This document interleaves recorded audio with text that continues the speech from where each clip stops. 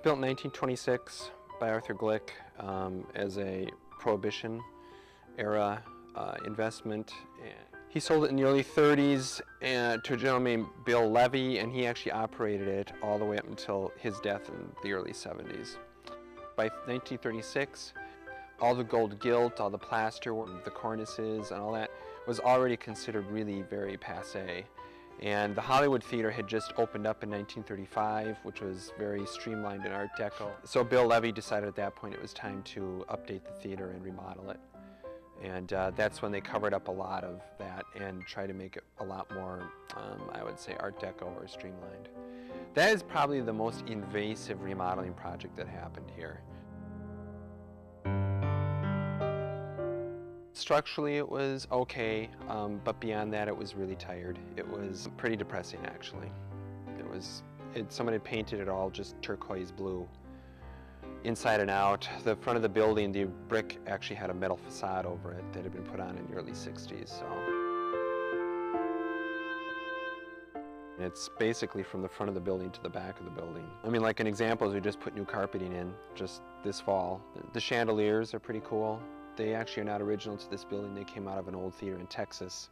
They're from about 1912, 1913. The curtain, the uh, the red velvet on the sides actually came out of the old Columbia Heights High School, and um, the stencil part on the front uh, came off the grand drape of the Grand Forks Orpheum. That's from about 1929. Uh, the organ is actually not original to this building. The original organ that was put in here in 1927 uh, was long been gone. Um, this organ is actually owned by the American Theater Organ Society and they do all the maintenance on it and installation. It actually, the main part of it, the chests, the pipes, and all of that, which really makes up the bulk of what the organ is, came out of the old WCCO radio studios. The organ chambers, though, on each side of the proscenium, there was just a flat wall there. They had been covered up.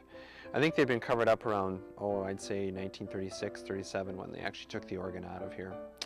And they filled the orchestra pit in then at that point, and they had seats going all the way up to the front of the proscenium. Uh, the other thing, too, that um, I did about three years ago was the columns on each side of the proscenium we actually restored. They had been busted out in the, uh, probably in 36 when they did the remodel.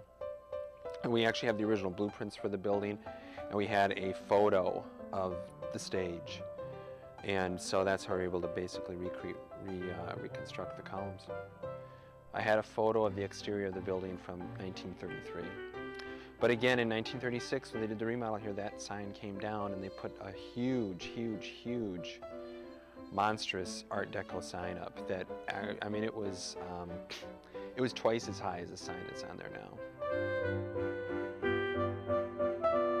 Well, the person who actually threw the switch to light the sign uh, was a woman named Eleanor Sleds, who was the original box office cashier at the theater when it opened.